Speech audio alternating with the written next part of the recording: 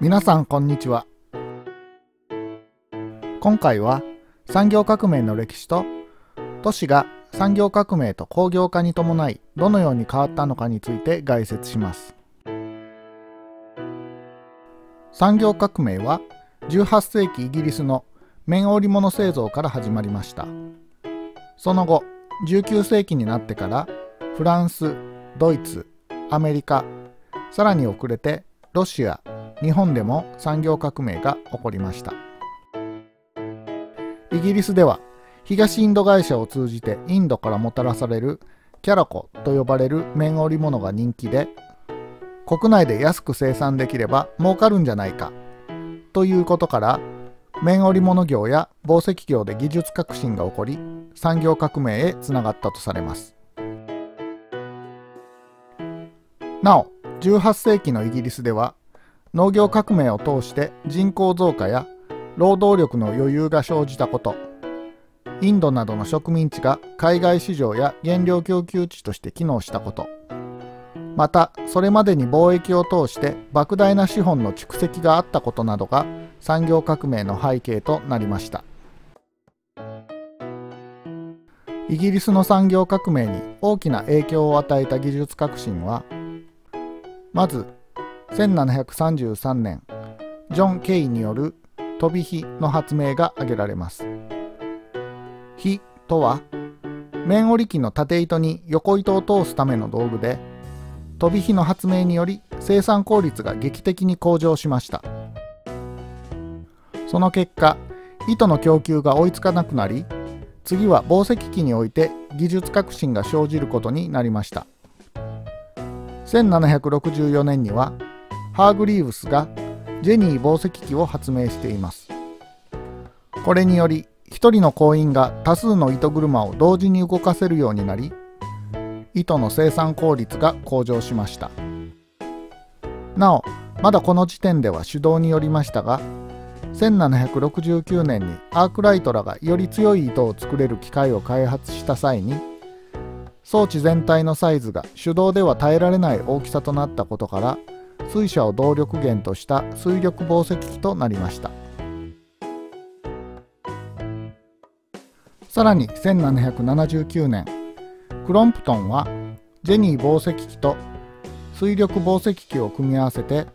強い糸を大量生産できるミュール紡績機を開発しました。この機械は初期は手動でしたがやがて改良され自動化されることになります。産業革命時の技術革新というと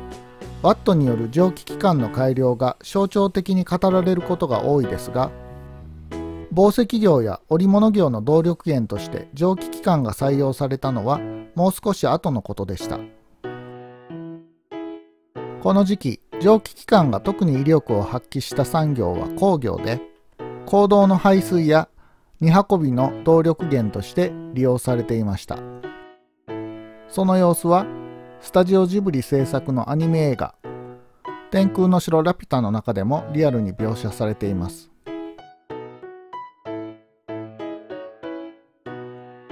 また紡績業の生産性が向上すると次には織物業における生産性向上が求められるようになり1785年にカートライトが開発した力食器に蒸気機関が取り入れられ生産力が3倍以上に急進しました。工場内では蒸気機関の動力によって頭上のシャフトを回転させそこからベルトで動力を伝達して各食器を駆動させる仕組みになっていました。さらに1830年代になると紡績業でもミュール紡績機が自動化されたことで単純作業に従事する労働者が急増し大きな社会的変革を迎えました。また産業革命の前後で製造業の立地場所にも変化が生じました。初期の段階では製品生産の多くが農村の農家内で手作業にて行われていました。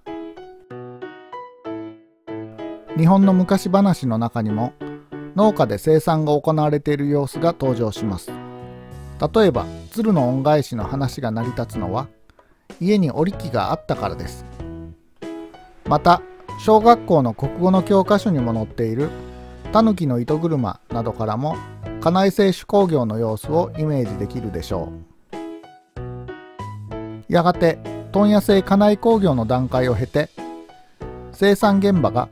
工場に集約されるようになります。この段階のことを工場製手工業あるいはマニファクチュアと呼びます。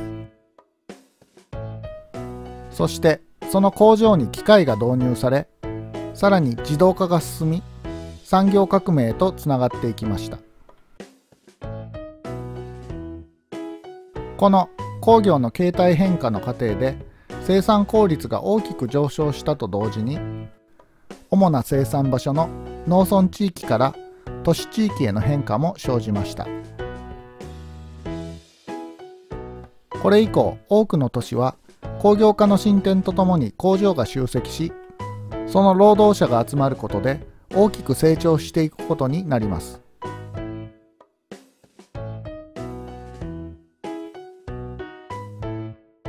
またイギリスの産業革命とその後の工業の隆盛は他国の歴史にも影響を及ぼしました。その代表例の一つがアメリカの南北戦争です。当時アメリカでは北部地域を中心に産業革命が起こって工業が成長し南部の農園で刺激されていた黒人奴隷を工場の労働者として見込んだことから奴隷解放の機運が高まっていました。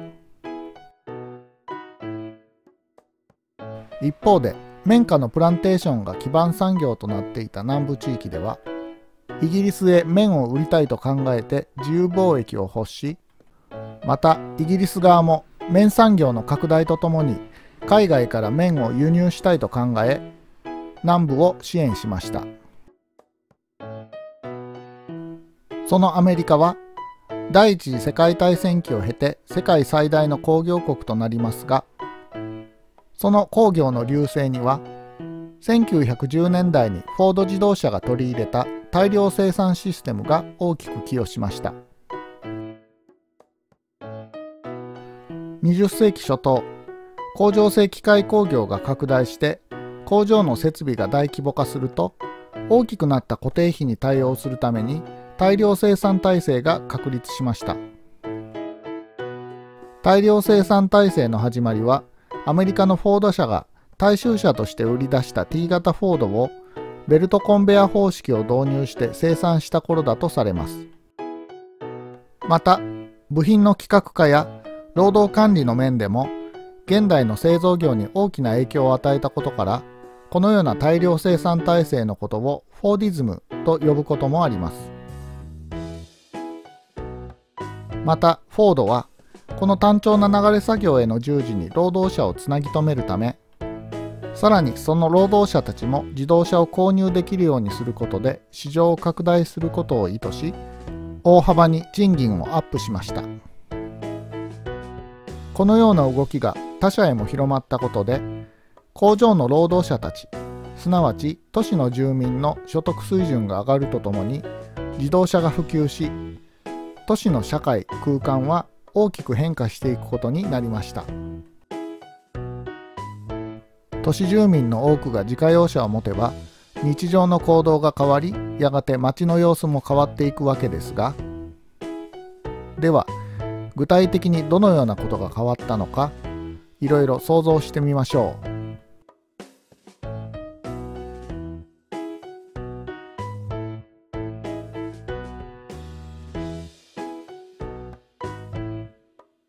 このように産業革命と工業化の進展は都市の発展成長という大きな地理的な変化を伴ったものでした。